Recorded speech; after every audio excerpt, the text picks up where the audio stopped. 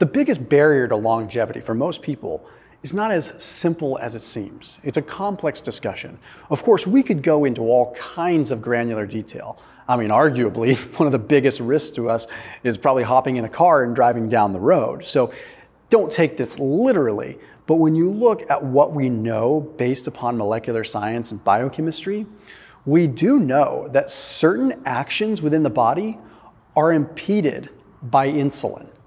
Now, what does this mean? Well, let's go ahead and break it down in some exquisite detail so that you have a playbook and how to apply this into your life. First off, we need to understand that every action has sort of a reaction, right? We exercise because we inflict a little bit of stress on our body and it makes us stronger. We get into a cold plunge because we get a little bit stronger. We get into a sauna because we react and we get a little bit stronger, right?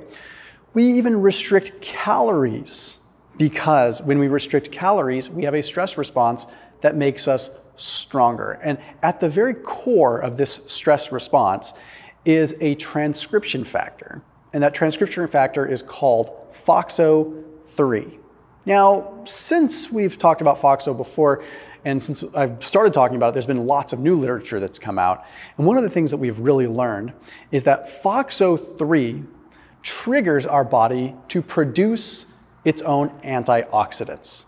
So, for example, when you exercise, exercise becomes a very toxic thing in the body. And what I mean by that is you create a lot of reactive oxygen species, you create a lot of oxidative stress.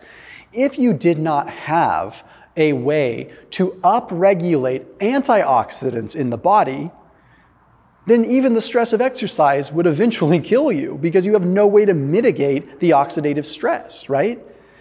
Same kind of thing with nutrient deprivation. And there's a study that I've talked about in other videos before that was published in Aging Cell that like paints it clear as day. It's rodent model, but it's very interesting. Now I've talked about it before, but by mentioning it, it helps sort of the idea of this video get out there. Okay, so in this study, they basically had mice restrict calories and they lived longer.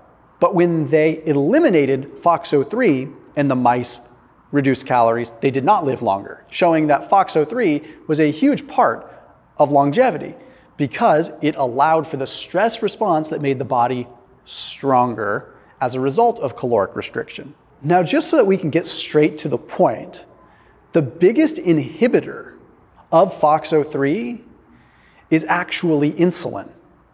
So, yeah, when we don't eat, insulin levels are low and FOXO3 is activated. When we eat, insulin is higher, peptide hormone, and yeah, we're not producing FOXO3. So arguably, if we just ate all the time, like, yeah, we wouldn't produce much FOXO3. But the point of this video isn't to tell you to fast. The point of this video isn't tell you to tell you to reduce carbohydrates.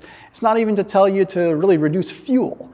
What I'm trying to tell you is that when our insulin levels are high, is when we are stopping one of the most important aspects of longevity. Now, let me talk about a study that was published in Cell Metabolism for a second. Okay, because this study found that if you train to like 80% of your VO2 max, you express PGC1A and you express PPAR alpha. Okay, what does that have to do with this entire video? What that has to do with this video is these are transcription factors that are associated with beta oxidation and with mitochondrial health. Okay? So that means that one of the ways that you overcome this issue is by increasing your body's ability to utilize fats more efficiently. And by improving your mitochondrial health, you can do that. So, how does that interplay? What exactly am I getting at? What does exercise have to do with this? Well, hyperinsulinemia, chronically high levels of insulin, as a result of insulin resistance, as a result of diabetes, as a result of poor mitochondrial function, can impact your aging and impact your longevity because they're impeding FOXO3. This is not an issue for someone who eats food, has a periodic insulin spike, and then comes back down. This is for people with high levels of insulin. What is your fasting insulin level?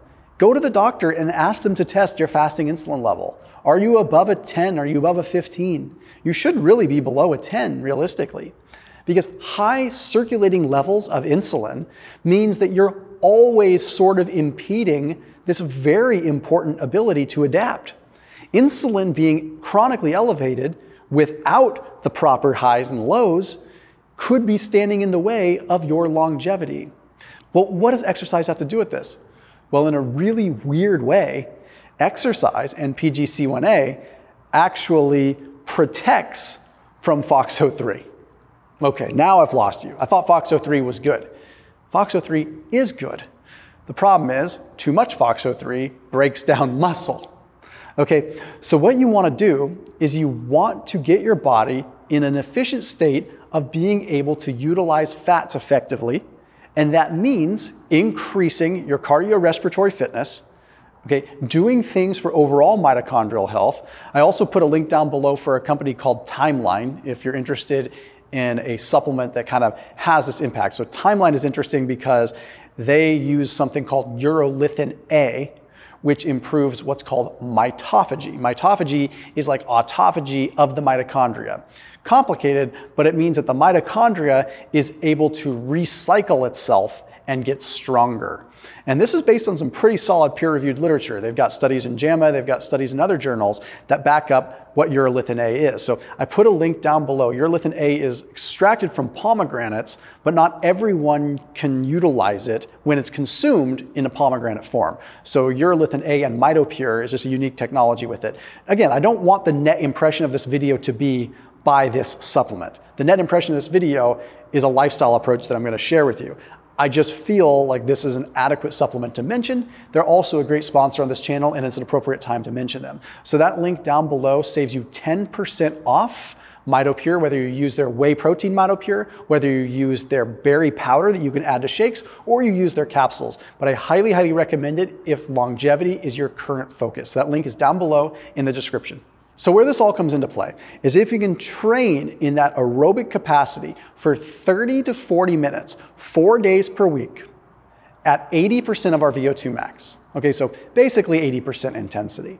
Okay, that sounds like a lot, but this is very, very powerful for training your mitochondria to be more efficient. And when that happens, the literature suggests that your chronically high insulin levels will come back down. There was also a study that was published in Heliyon that took a look at intermittent fasting compared to a control diet compared to prolonged fasting. And it found that intermittent fasting worked better than regular control diet and even worked better than prolonged fasting at increasing FOXO3 and increasing the subsequent antioxidants that come as a result of it. This is all very, very potent when it comes down to longevity. So, what are some ways that you can reduce your insulin levels besides exercise and besides fasting? Well, the more that you can lower your glucose levels before bed, you're going to have less circulating insulin at night. So, I would highly recommend that people maybe limit their carbohydrates at night if they are suffering from higher levels of insulin. Otherwise, it's not as big of a deal. Resistance training, adding as much muscle mass as you safely can add. The more muscle sinks that you have, the more you're able to soak up carbohydrates when you do eat them. There was also a study that was published in 2021 in the journal Aging that was very interesting that took a look at a Mediterranean low carb diet. It looked like this they had three servings of liver per week, five to 10 free range eggs per week, and then per day, two cups leafy greens, two cups cruciferous vegetables, two cups of low glycemic fruit, a couple of beets Okay, and then they also added a few supplements. They did things like quercetin, garlic. They added uh, rosemary, turmeric. They also added a probiotic in. Okay, and they found that this reversed their epigenetic age by two years. Now, when you're looking at the world of aging and FOXO3, if you're reversing your epigenetic age, you can almost certainly guarantee that the way they were eating was reducing insulin and increasing FOXO3 activation. So this is one of the most wholesome ways that you could live your life. They also made sure that they were getting at least 30 minutes of aerobic exercise five days per week. They were getting about seven hours of sleep, and they were focusing overall on antioxidant rich foods. And they were drinking green tea and oolong tea. I know it sounds like a lot to take in, but if I spell it all out for you, the whole goal is to reduce insulin down to a steady level, but not be afraid of insulin. It's not about being afraid of carbohydrates because blood sugar is bad.